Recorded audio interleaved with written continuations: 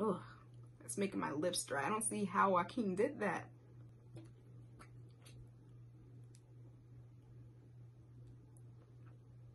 Okay. Hello and welcome, welcome, welcome back to Movie Vibes with Desiree. And today I have my Batman ring and my Batman sweater, and I'm ready to take on a movie review for Joker, starring Joaquin Phoenix, Zazie Beetz, Robert De Niro, and so forth. Is it so forth or so on? I don't know. But it's directed by Todd Phillips, who also directed Due Date, The Hangover, and also Starsky and Hutch. Joker is based on the story of Arthur Fleck, a traumatized, depressed comedian man of whom has a condition of excessive laughter and tries to settle himself within a society that constantly rejects him. Now, there were so many wonderful moments about this movie. I must first mention the cinematography. It was absolutely brilliant. The shot angles, whether it was complex or simplistic, definitely worked. And it also, I don't know if it intentionally did this, but it also introduced the tone of the movie before actually viewing the movie in its full. Now, the color palette and the environment of the film was just amazing. I loved how they portrayed Gotham City. Even though it wasn't really the comic book version or the previous versions that we've seen from other movies, it wasn't that type of Gotham City.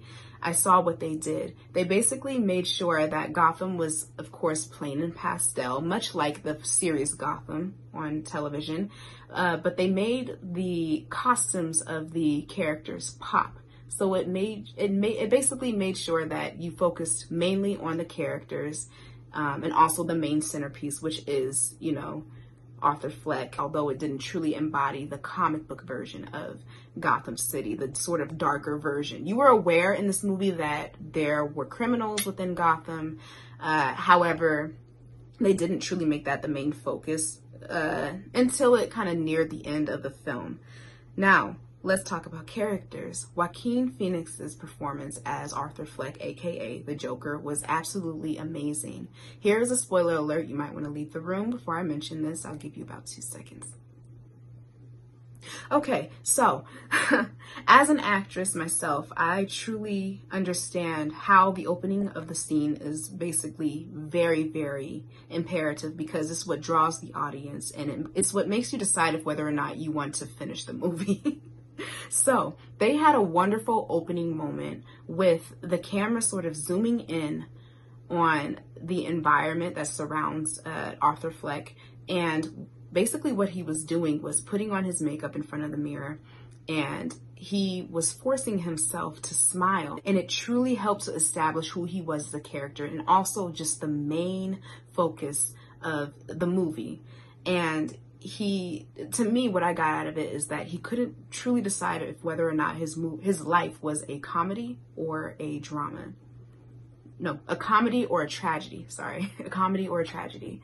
So that to me was just amazing how he was able to sort of make draw you in. But and i also liked within the scene how while he was doing that you could see like in the corner of the scene that there were a few of his co-workers um, who also were hired on as clowns that were just sort of interacting and doing their thing. But he was isolated and alone and it truly helped to establish what this was what the film was conveying. So i truly appreciated that. And his, oh my goodness, I don't know how much weight he lost for this role, but you could literally see his rib cage and his spine. Now, I would have to say that his voice when he first spoke in the film, because that's what I like to listen for is the voice, especially when it's the Joker. There's so many different versions of the Joker, and I was just a little bit nervous about his voice, but it actually worked. It was a very soft tone, little kid type of voice, someone who definitely didn't have any confidence and someone who you knew was going through something. Joaquin definitely perfected that, and he also perfected the laugh. There's different versions of it, of course, but I absolutely love Joaquin's choice uh, as far as the tone of his laughter because there were times throughout the movie where his laugh was very, very, you could tell there was sadness within it and it was so uncontrollable because again that's his mental condition but he truly mastered the laugh i actually liked it you kind of saw how that laugh evolved with his character as you witnessed as an audience member his sort of um, evolution of retrieving his desires uh, and sort of accepting himself in a way.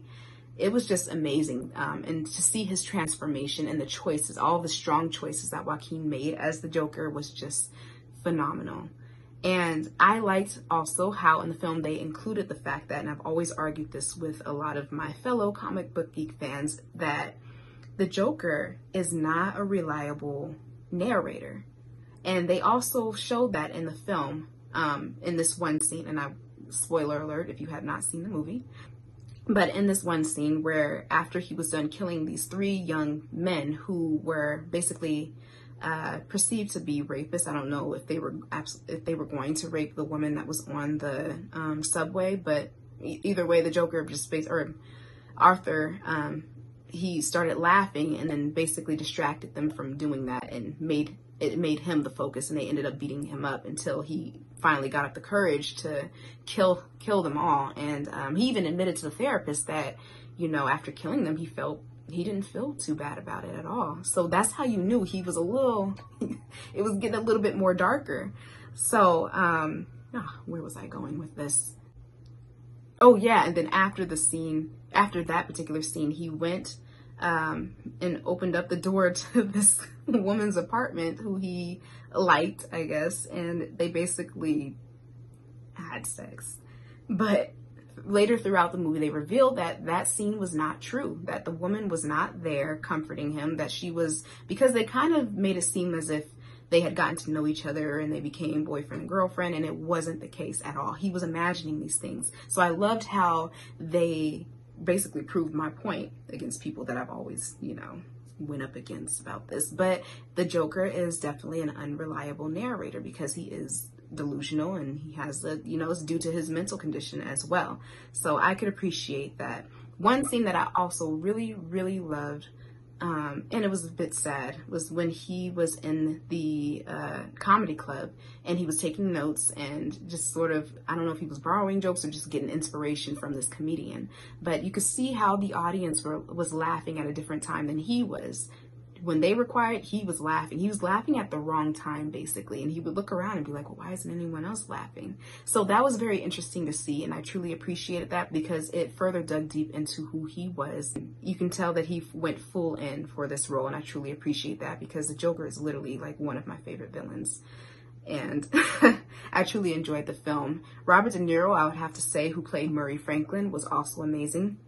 You can tell he didn't have to try too hard for his role. I mean, he's legend. so yeah, there's that. He was amazing. Um, Zazie Beetz, it was good to see her as well. Very uh, soft spoken and basically they portrayed her to be this understanding person that the Joker leaned on or that Arthur leaned on at the time, but all of that was pretty much fake and fantasized. One thing that was a bit confusing for me was that towards like maybe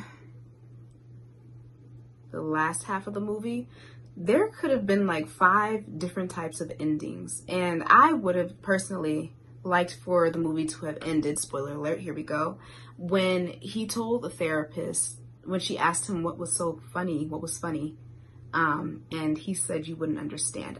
That right there, like that could have been a good ending, but they kept adding on and adding on and adding on, which okay, it, it's fine. Um, I'm actually okay with the way it ended, but I feel like literally. There was there were different there were different moments that could have made for a unique ending but i would have as a fan especially have liked for it to end where he said um, you know you wouldn't understand. It was very very sadistic. It was very it was so the joker. So just leave it there basically. I don't know. The one thing maybe two actually. Two things that i would have to say that i didn't so much care for was not so much the casting of Alfred, but Alfred's appearance. Ugh.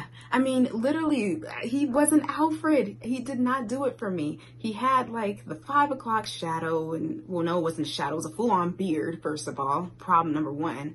And then he had he had the um, suit on, but his jacket wasn't buttoned. He didn't even look like a butler. Literally, it's like, hey, do you want to be in a movie? Come on, you can go ahead and play Alfred. We'll go ahead and get you a suit and a, fake British accent. You can go ahead and just do your thing. That's how it felt for me. He was not Alfred. And plus, Alfred is a badass. So, for for uh, Arthur to just grab him through, another spoiler alert, to grab him through the gate like that around his neck, like Alfred would have straight up just whoosh. but uh, I really, overall, I would say that I would give this movie a 10 out of 10. I love it. I'm definitely going to see it maybe two more times. I saw it on opening night and truly just walked out appreciating the film. And I even thought about it uh, throughout the rest of the day. So yeah, definitely go and see this movie. If you have seen this movie, what do you think? Comment down below. If you haven't seen this movie, are you going to? Are you nervous about the portrayal of the Joker? I know for sure that I've always wanted to see Joaquin Phoenix in this role. And I also, also, which it might be too late, but I also wanted to see William Dafoe in this role. I always pictured him as the Joker. But I mean, since he's a bit older, maybe a little bit too late wishful thinking. Thank you so much for coming back to my channel. Uh, I will be doing more movie reviews like this and comment down below what you thought about the Joker if you did see it. And do you think that this film is worthy of Oscar buzz? Because I definitely do.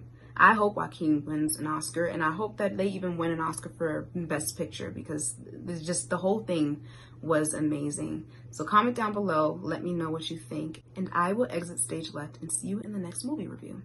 Bye.